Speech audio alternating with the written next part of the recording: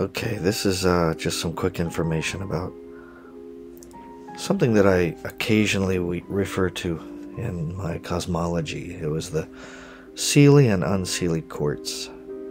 Um, these two courts, they're they're part of Scottish folklore. Uh, basically, we're looking at two groups of fairies, and they're known for having like really different personalities, kind of diametrically opposite. The Seelie court it uh, is mainly consisted of benevolent fairies, and they're seen as, you know, kind of being friendly toward humans. The Seelie court also, uh, sometimes people refer to them as the blessed or benevolent court. Uh, members of this court uh, they're known to help humans, I guess, in times of need.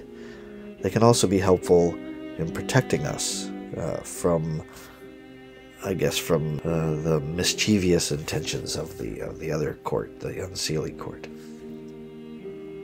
Now, speaking of the Unseelie court, it's comprised of, uh, I don't really want to say malevolent fairies, but fairies that are known to yeah, they cause mischief, and they do at times harm uh, humans, especially if they felt slighted or something.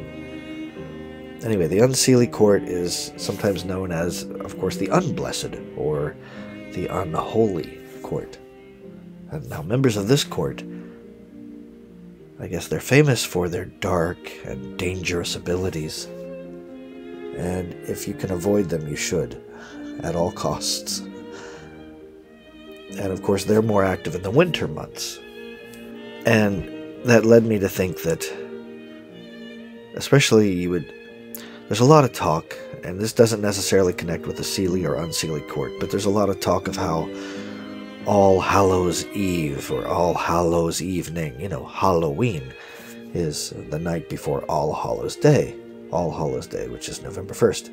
And that's where they say that the veil between the two worlds is thinnest and so, I don't know. For me, in my own little cosmology, I see that as kind of an unseelie court time of year. So, anyway, so I came up with this idea that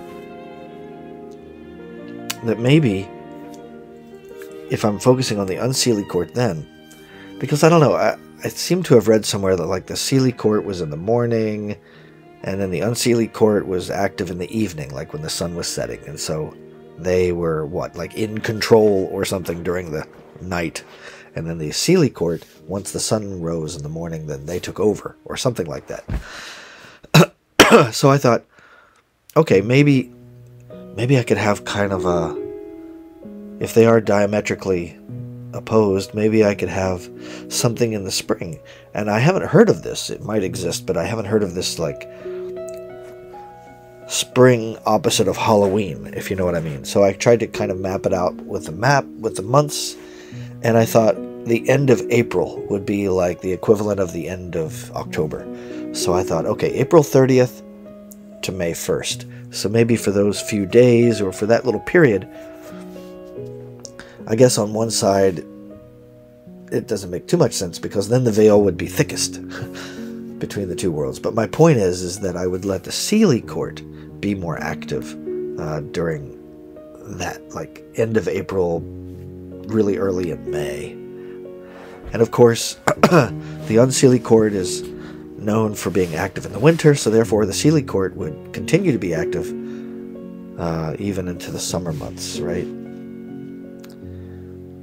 But in truth, you know, the line between these two courts, it's kind of blurry because when you're dealing with fairies, their actions can be unpredictable, right?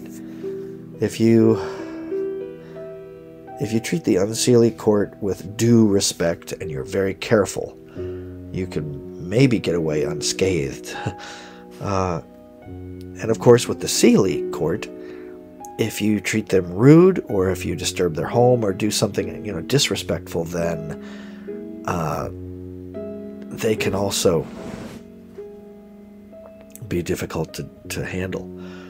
Uh, so, I mean, fairies in general, they're just in folklore. They're they're known to be kind of capricious, and you don't want to trifle with them, right? They're not just like little things you can just ignore.